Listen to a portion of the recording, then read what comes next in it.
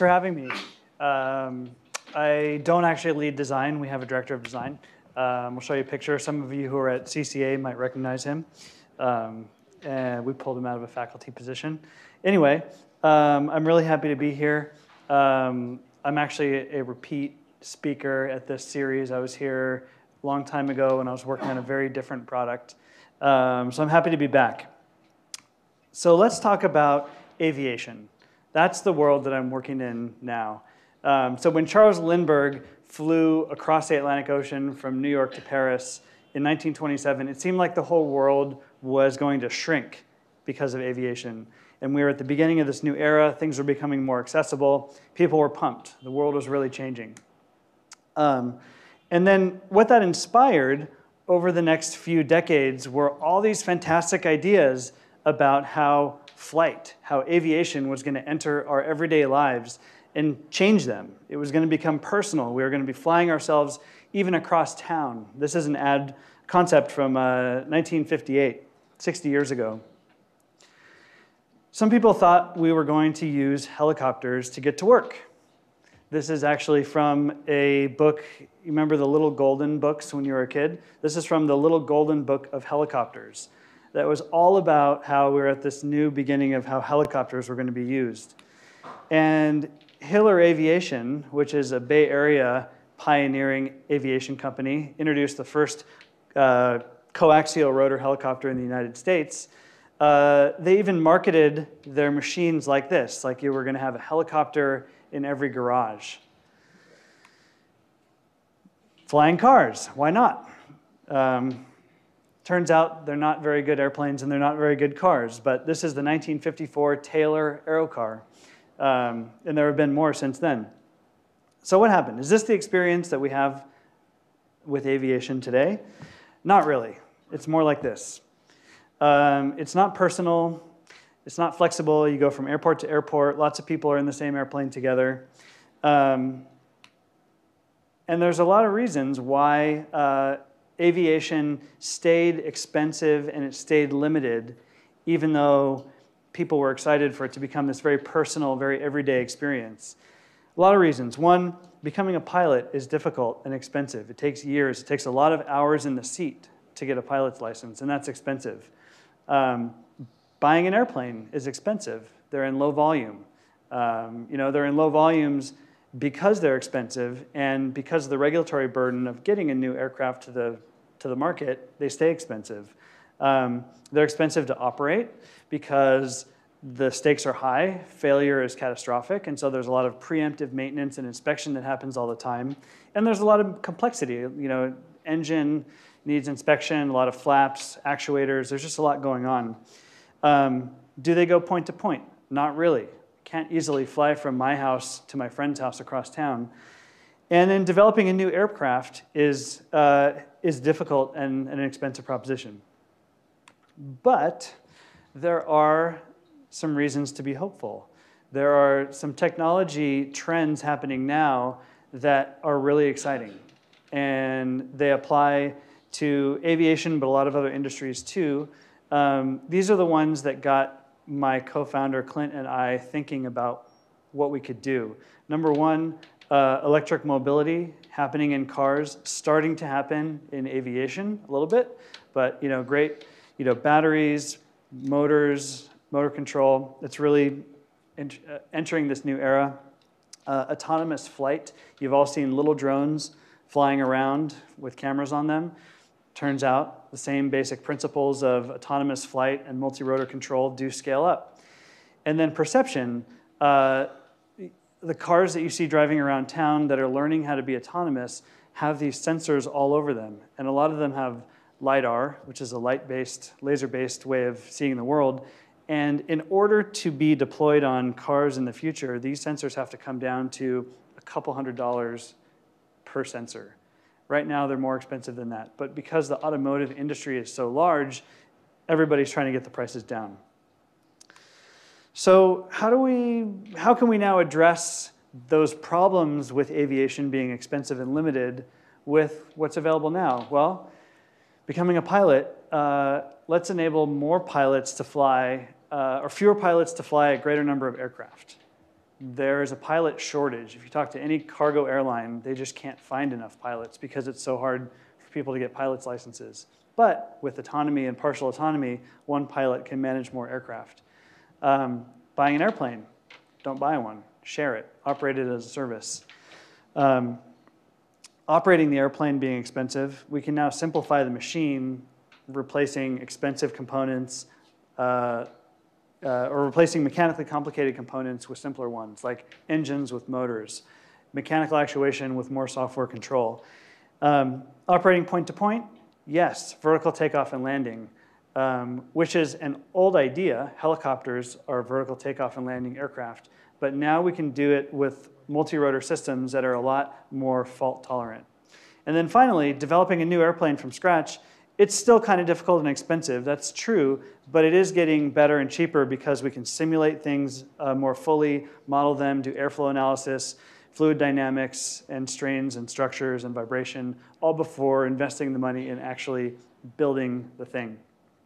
So, what's next in aviation? There's a lot of excitement about air taxis.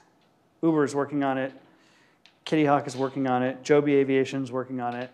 Um, I'm really excited about this too, but I don't think this happens first because there's a very high bar for safety in flying human beings from one place to another. And that's going to take time to get through a regulatory process. So what we decided to do was cargo. So my company, Elroy Air, is building a autonomous cargo aircraft to take a couple hundred pounds of cargo over 300 mile or less trips. And cargo is not as sexy as carrying people, but I really believe this is next. This will happen first. And we'll start the next wave of aerospace here with cargo. So, where is it going to happen first? I had conversations with the FAA, whose job is all about safety. They don't want planes to crash.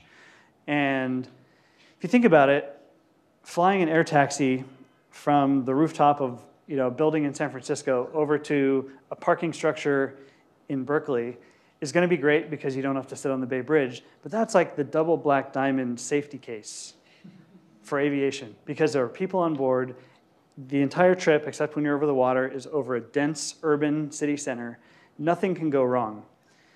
So I think the first place that we're going to see this new wave of aviation is places like this. This is an airstrip in the Alaskan backcountry.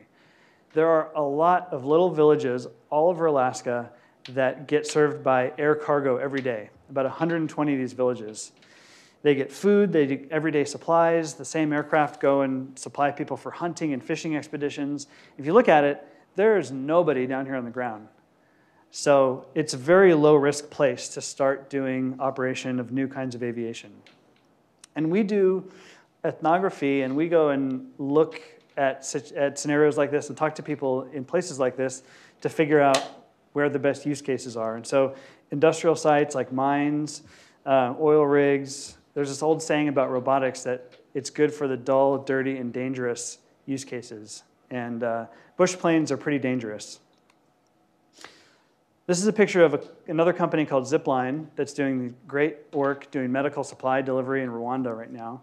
Um, and this is another good place where the roads are not good. There's a need for more high performing cargo logistics.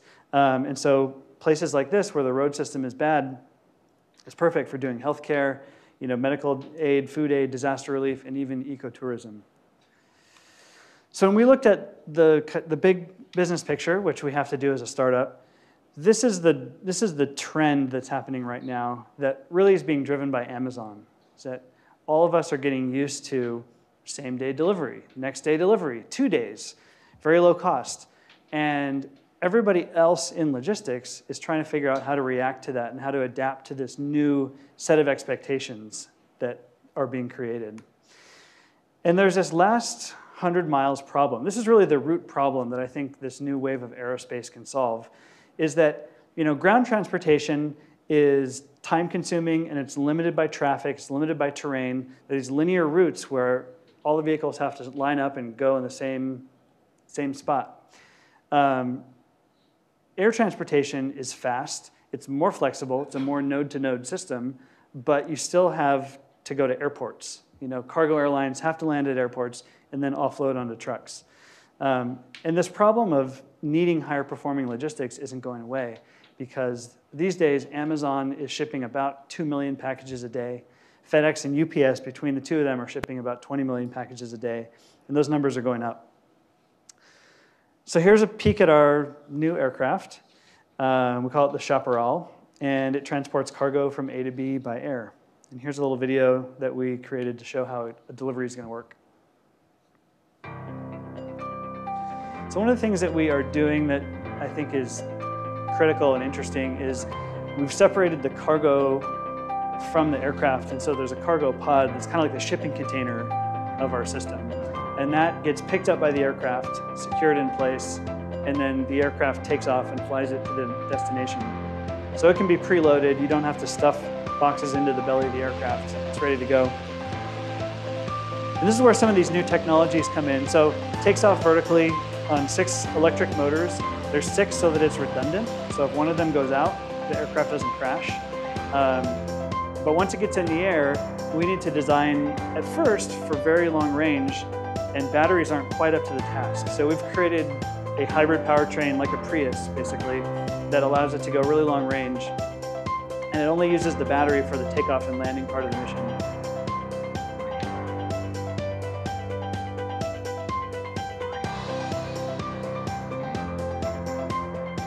So when it gets ready to land again, the lift rotors turn back on for the final approach, comes down vertically, doesn't need an airstrip, uh, just basically a helipad sized area, 45 by 45 feet.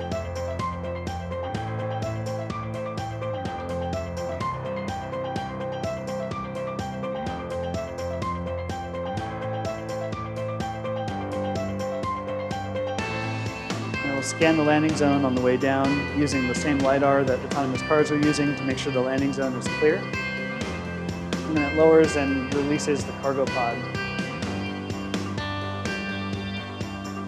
This is where, if there's enough time, uh, the recipient can unpack the pod and pack new items back in. Otherwise, they'll just have a second pod that's packed and ready to go and pick that one up and go.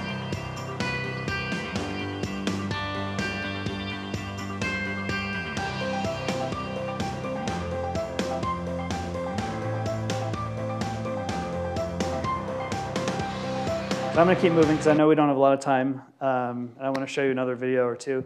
Um, this is a little more details about the aircraft. Um, key things about it are that it has lower operating costs than manned aircraft and ends up at about the same cost as trucking on the ground, except it's just faster and takes less fuel. So a little bit about my co-founder and myself. We're both engineers. We love figuring out what the opportunities are that new enabling technologies are affording and building products and companies around them. Clint had his own company building uh, high performance aftermarket parts for Mini Coopers using 3D printing techniques to make these cars go extremely fast. Um, I did a PhD, did research, and then uh, I've been doing startups ever since then. We formed a team uh, by, with people that we already worked with in the drone industry. Um, here's Colin, the designer who some of you might know from CCA. Um, he's great. And uh, here's a sample route. Um, this is the, for a business customer like a UPS or a FedEx. Our system will run routes that take uh, 200 pounds of packages out to business customers that are out in areas where it's not an efficient truck route. So the upshots are there's three times, you get three times as many deliveries a day because it's faster. Um, the fuel efficiency is better than a truck, and you just get way more timing options. So you can do multiple pickups a day or a later pickup and still get the cargo back to the concentration point for overnight shipments. Okay, so a little bit about how we've been operating, uh, how we've been developing this system. First, um, it's a complicated system to build a new aircraft.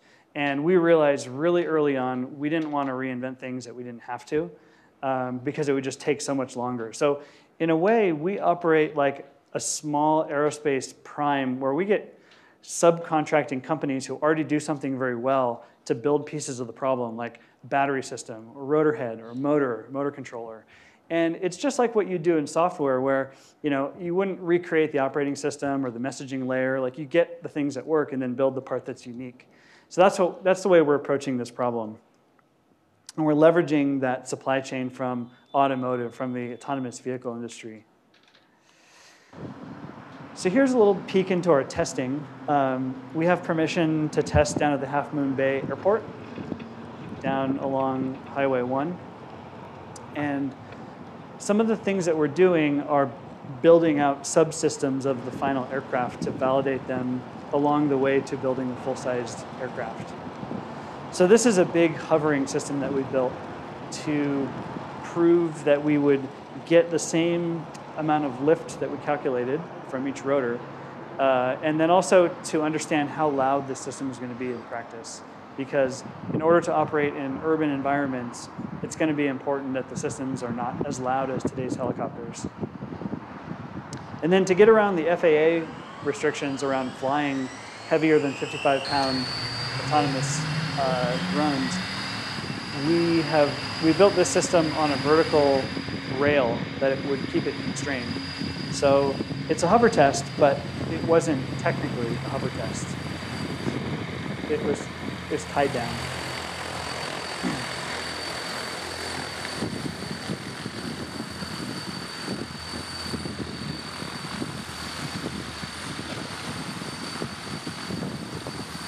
So this is really thrilling, the first time we sent this up. Uh, and it confirmed to us that the numbers we were calculating for rotor lift checked out and that it was actually pretty quiet. You know, we were measuring with a, with a dB meter and it, it didn't substantially go above the sound of the road next to us where trucks were driving by. So this is one example of how, how we validate you know, a system like this that's that's going to be expensive to build full-size versions of it. And so there's a lot of a lot of individual system validation we have to do along the way to make sure that when we build the full thing, it's going to work. Um, so we do a lot of CAD, a lot of modeling, a lot of simulation, um, a lot of just ideation and sketching. So this is uh, one out of like a thousand drawings that, uh, that our design director has done to figure out like the ergonomics and the UX of loading and unloading this cargo pod. How's it going to work? How's the pod going to get connected to the aircraft? So there's a lot of interesting uh, you know, industrial design, product design questions that go into a new system like this. But it is pretty interesting because uh, as an industrial designer, Colin is used to having a pretty big say on how a thing's going to look. But in aviation, a lot of that is so determined by physics that there's just not a lot of leeway to change how the actual aircraft is going to look. Um, so there's some, but a lot of his work has been in this usability of like how people will interact with the system. We also build physical prototypes. This is an early prototype of a latching system that picks up cargo pods and brings them up underneath the aircraft. This is a, a couple prototypes later. Uh, ground navigation and latching system so the aircraft can drive over a cargo pod and pick it up and latch it in place. And then here's a subscale aircraft, which is about a one-fifth scale drone flying last week at an experimentation uh, venue that we were at. So this is another thing that we can do, and it's pretty common in aerospace to create you know, miniature aircraft that are similar to the full one in, in different ways. So this is aerodynamically pretty similar and allows us to, to practice and try out the basic control setup. Because you know, this is different than little camera drones like the DJI ones you might have seen because it goes up vertically and then it transitions uh, from that rotorcraft mode into a wing-based mode, more like a, you know, like an airplane. So that was the transition that you saw in the beginning. Then it cruises around, and then it will transition back to hovering and come down and land.